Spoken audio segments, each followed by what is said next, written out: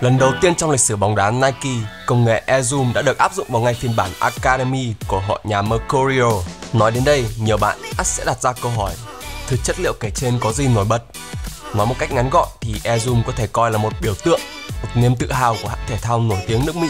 Hãy cùng Mankibo xem hết video này để tìm hiểu về dòng giày đang được săn đón nhiều nhất trên thị trường bóng đá thời điểm hiện tại. Cùng bắt đầu nha!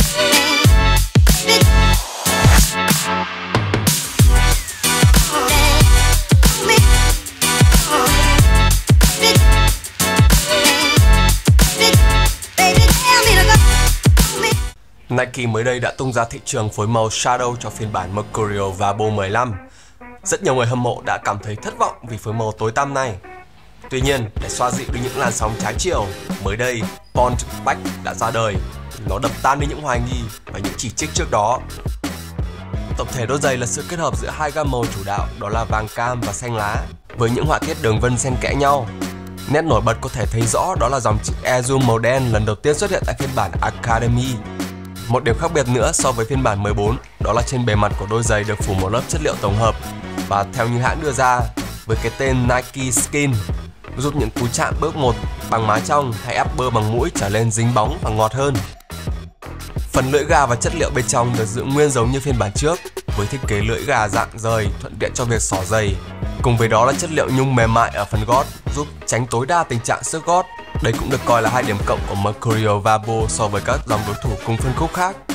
Đúng như tên gọi ở phần tiêu đề video, sự khác biệt đột phá lớn nhất ở phiên bản này đó là bộ đệm đế Air Zoom. Còn thực hư ra sao thì...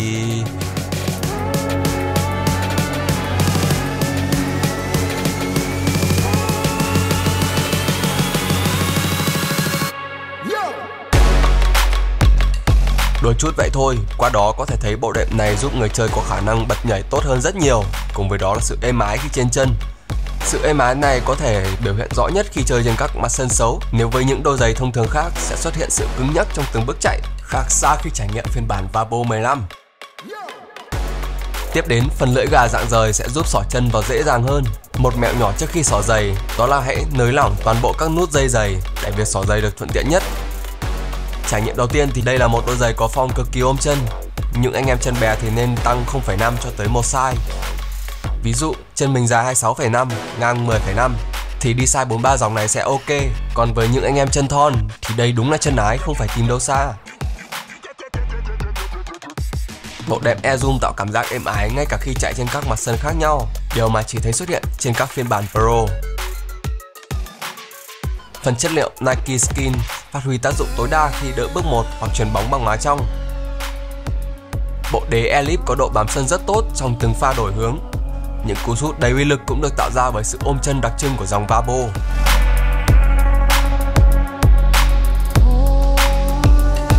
Tổng kết lại thì đây là một đôi giày chỉ có một nhược điểm duy nhất, đó là mức giá khá cao khi hãng đã tăng giá niêm yết của sản phẩm lên tới 2 triệu rưỡi Bên phía Monkeybo mới đây đã về hàng full size và mức giá cực kỳ tốt chưa tới 2 triệu.